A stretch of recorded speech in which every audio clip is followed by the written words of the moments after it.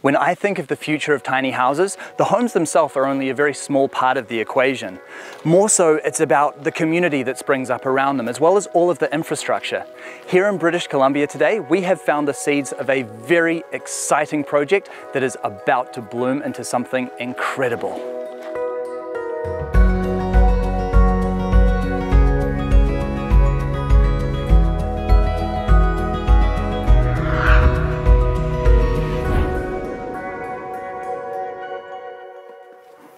Hi, Kathleen. Hi, Bryce. Lovely to meet you. Nice to meet you too. Welcome. Oh my gosh, I am completely in love with your house. Thank you. I am too. This location is just absolutely breathtaking. It is stunning. Mountain views in every direction and the lake out in front. Live in gratitude. So how did you actually come to be here in this spot?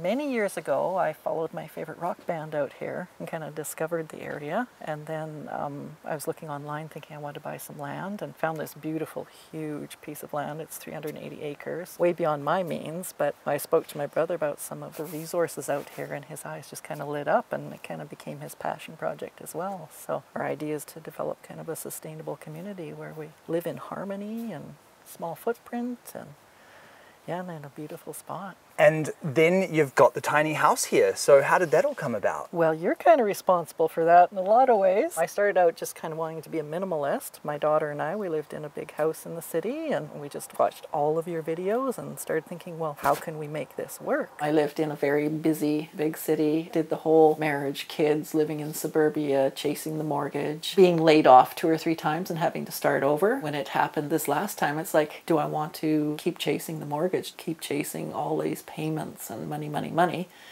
And I decided it was a good time in my life to make a big change. So I sold my big city house and all my belongings and I built a tiny house in BC, and my daughter moved to Nova Scotia and built a tiny house there. And yeah, it was just simplifying life, less objects to take care of and move around. I'm so thrilled to know that I'm partly responsible for this incredible creation. And how cool as well that you could actually do that with your daughter, and actually how selling your home became two homes. Yes, absolutely, because we didn't need all that space, and it was just the two of us at that point, and we just kind of followed our soul paths. Now, it looks like you're actually doing some other really amazing things on this property. I couldn't help notice those geodesic domes as we came in. Yes, that was part of the plan too. We wanted to be able to grow our own food, generate our own energy, and just, you know, live beautifully. And you forget what good food tastes like. So, yeah, we decided on year round growing.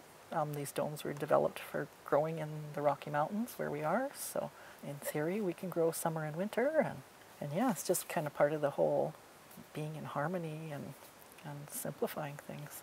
Well, I would love to go over and take a look at those a bit later, but first we should talk about this incredible house. So I've noticed you've skirted everything in for the winter? Yeah, since I'll be mostly stationary, I might move in, you know, a few years, but since I'm here, we skirted and insulated. And it's really clever what you've done over there at the hitch end as well, where you've actually you've got the shed built into it. Yeah, and fully insulated as well, but I thought it's empty space, I could use it for storage. And you've built this incredible deck. Yeah, and I wanted no railings on it, so I just kind of feel like I'm part of the forest. And how big is this home actually? The flat deck of the trailer is 30 and then 8 feet for the gooseneck, so about 38 feet long, and we're about 9 to 10 feet wide. Well, I would absolutely love to have a look inside the house and see what you're doing? Well, come on in. All right, thank you. Oh my goodness. This place is beyond beautiful. Well, thank you. I'm very comfortable here. You're immediately greeted by this wonderful and really cozy looking lounge. Yeah, and it's it's big enough to fit several people or just me. I can have a lounger, I can have it as a desk or an eating table. It has a lot of functions. It can be kind of a big L-shaped couch. Some of the furniture is movable, so I sometimes have a queen size bed. It's nice to be able to, to mix things up a little bit. And then above that space, it looks like you have a guest loft. A guest loft, yeah. It's not super high for headroom, but it's excellent for sleeping. And then I have a little perch here. I like to pretend I'm a bird and sit up on my perch in the winter and drink my tea because the heat from the fire goes up there. And it's just a nice place to kind of hang out, you know, just another little space in your house. You can go and read a book or I have binoculars up there, so I'm out spying the birds and stuff out the windows. I bet the wildlife around here is just spectacular. Oh, it's endless. I've seen so many bald eagles, I can't believe it. And then you've got this wonderful wood stove to keep you warm. I do. It's a, a Hobbit wood stove. It's one of the smallest wood stoves you can get. It takes teeny tiny little wood, but it heats the space beautifully. And is this additional storage in this space here? It is. One thing I noticed with many tiny houses is they didn't consider where you'd hang your coats or put your brooms or your boots and stuff. And we have many seasons here, so it was nice to have a closet. It's kind of different in a tiny home. And then moving into the kitchen space, you've got a lot of room to work in here. I do. Yeah, it was a nice sized kitchen and washer and dryer combo, which is nice. You've got full size appliances everywhere. Um, they're actually a little bit smaller. They're 24 inch appliances. And the fridge is just a little taller, so you get just about as much room. And freezer in the bottom, fridge up top. And nice having counter top on both sides and a place to kind of wash and dry your dishes. One of the things that I really like about this whole home is all of the little wooden details everywhere, like these gorgeous live edge windowsills. Yeah, and I asked Seth to do them everywhere on the main floor here because each one's like a work of art. Yeah, just bringing a little nature in here and leaving it in its natural form. The mason jar light fittings look great up there too. Yeah, they were a dream of mine, and I did a little research and found you could buy parts online and kind of do it yourself projects. I did it in the bathroom as well. And speaking of the bathroom, should we have a look at that? Absolutely. All right. This is my yeah, piece de resistance, my tub. It's huge. It is. But I do a lot of great thinking in there. And it was my one thing is build a tiny house around this tub because this tub's coming. And the placement of that window as well. What an incredible view you have right from your hot tub. Yeah, and you can sit in the tub and see the stars at night. And ah. when the full moon is out, it just pours in here and lights up the tiles. It's pretty spectacular. I might have to move into this one. and then behind us, we've got the basin and toilet. Yes, we do. I decided to go with a flush toilet because of regulations in the area. I was going to do composting, but they require a flush toilet and a septic system, so I don't mind it. It's a luxury for sure. And one of my favorite things about the bathroom is the doors that Nelson Tiny Houses built. They do this gorgeous metal hardware, don't they? Yeah, they do. Yeah, it just brings in so much rustic charm. Yeah, and it's certainly a mix of like rustic and modern. And then the bedrooms through here. It is just up a few steps into the gooseneck part of the trailer. After you. Thank you. Wow, look at all the art in here. Yeah, it's a little bit too much art for the small space, but it's something I couldn't give up. I've painted them and they had to come with me. I actually think it fits the space brilliantly, and how cool that you can actually showcase all of your art. This is like your own private bedroom gallery. It is, yeah. And not too many people have to see it.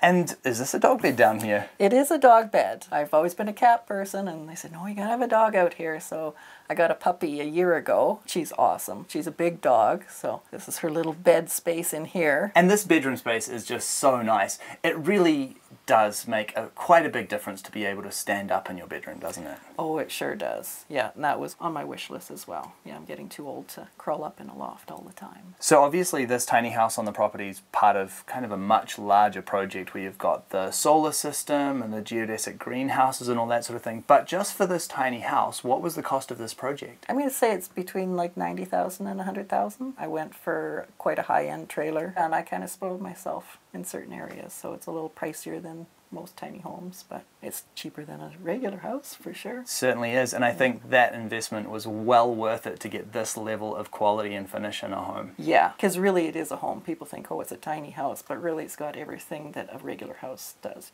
You've been living in this home now for two years. How are you finding it? I love it. Like, I honestly, I have zero regrets doing this. I'm definitely not stressed anymore. Um, it's funny when I was back in my stressful life, I'd go to, to Maui for a couple of weeks and I'd refer to myself as Island Kath because was almost like a different persona showed up in Hawaii. And I find that is here as well. Is you don't sweat the small stuff. You live more in the moment. You appreciate, you know, the sound of the birds and the sound of the water and all the stuff you can pick up when you turn off all the outer world noise. It's where we're supposed to be. We're supposed to be reconnecting with the earth and with the environment. And even when you're having a bad day, you look around and you say, wow, even a bad day in a place like this is pretty bearable. Now, if it's okay with you, I would love for us to go and see some of those geodesic greenhouses because they just look so interesting to me. Let's do it.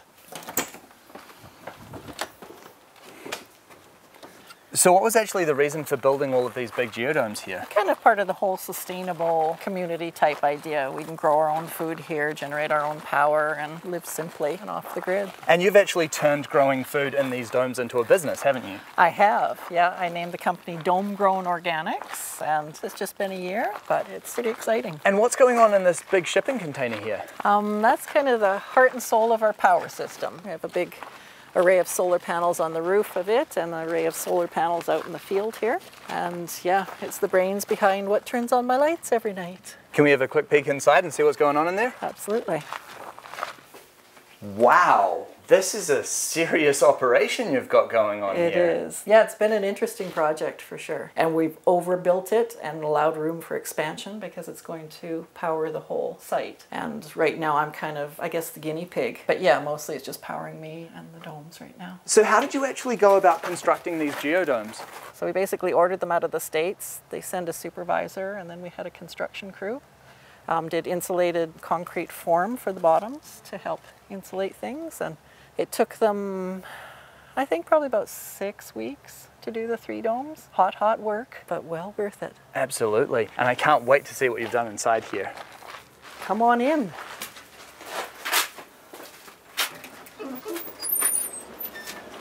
Welcome to the dome. It is just abundant in here, isn't it?